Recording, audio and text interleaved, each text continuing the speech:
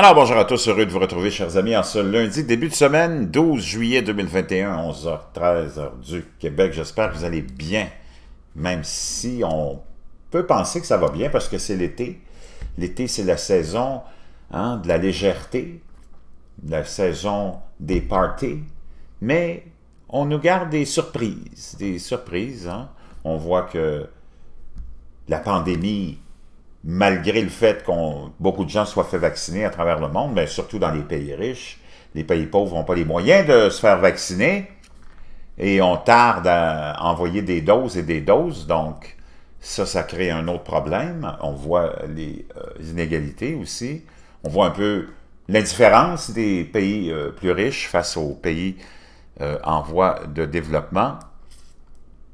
Et dans nos pays respectifs, aussi, les cas sont en augmentation, malgré le fait qu'on est en été.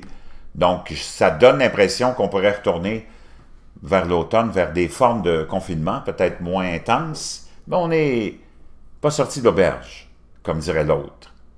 Je ne sais pas ce qu'on nous réserve comme surprise, mais ça sent pas bon. On va aller faire un tour aux États-Unis, où on apprend par le Daily Mail que on a euh, des... Euh, États-Unis ont enregistré 20 000 nouveaux cas de COVID dans trois jours, pour trois jours de suite, pour la première fois depuis le mois de mai, alors que le fameux variant Delta continue de ravager les zones à faible taux de vaccination.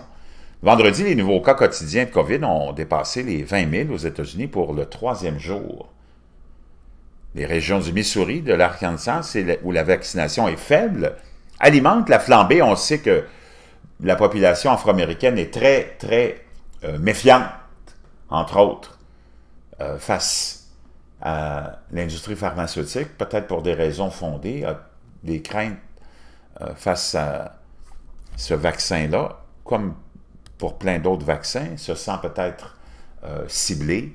Chez les républicains, on a un haut taux aussi de gens qui ne veulent pas se faire vacciner. On a l'ancien président Trump qui a poussé le vaccin, euh, poussé la création du vaccin avec euh, l'opération Warp Speed, en mettant des milliards pour pousser l'industrie et les scientifiques à développer le vaccin le plus vite possible, idéalement avant l'élection.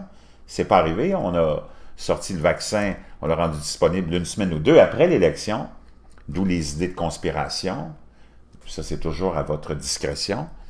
Et depuis ce temps-là, comme par vengeance ou par euh, peut-être euh,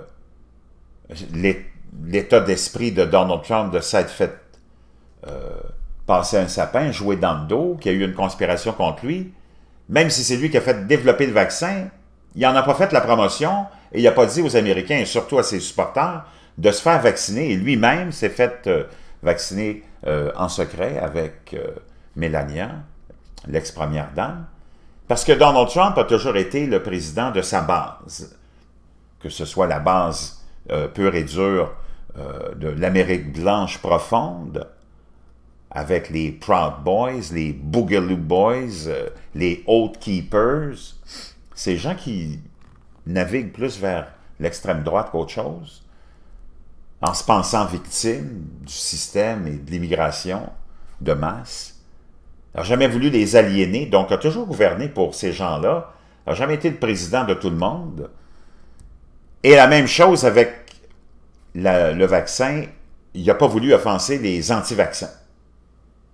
Et c'est pour ça que Donald Trump, qui aurait eu la responsabilité en tant qu'ex-président de s'impliquer, surtout que c'est lui qui a fait développer le vaccin, puis en était tellement fier d'avoir pu faire ça euh, très rapidement, il aurait dû être le chef de file de celui qui promeut, qui, promo la, qui fait la promotion de la vaccination.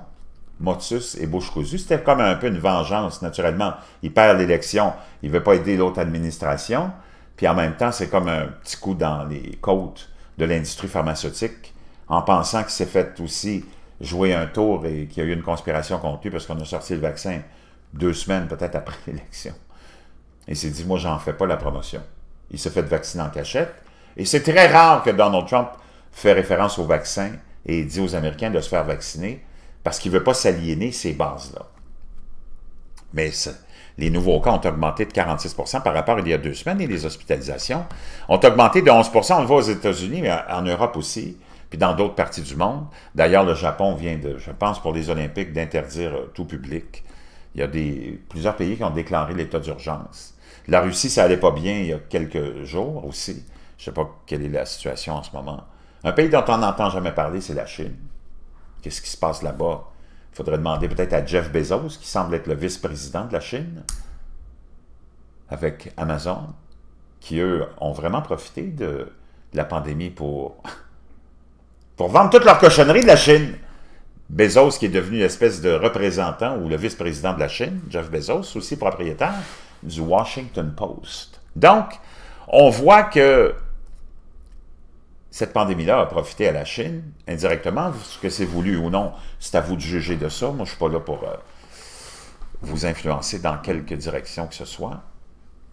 Mais l'Amérique, l'Europe en général, euh, se sont retrouvés, les autres pays, euh, en position de faiblesse avec cette pandémie-là.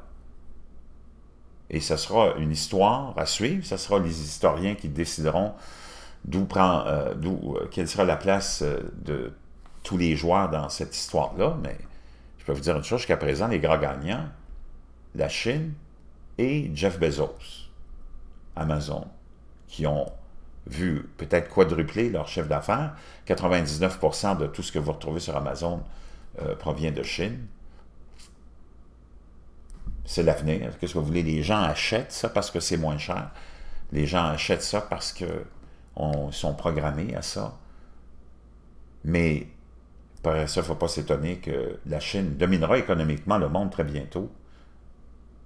Une chance que les Chinois sont des gens pacifiques, mais en tout cas, ils ont des revendications territoriales, comme je vous disais l'autre jour, et historiques, mais dans l'ensemble, le, peuple chinois très pacifique, une chance, même les dirigeants très pacifiques, on ne s'implique jamais dans vraiment plus qu'il faut dans des conflits. On s'en va toujours où nos intérêts sont euh, importants hein, pour euh, le Parti communiste chinois on s'installe dans des pays, on se met amis avec des régimes souvent qui sont euh, très douteux, parce qu'on pense à dominer le monde, on pense à nos euh, intérêts hein, du côté du Parti communiste chinois.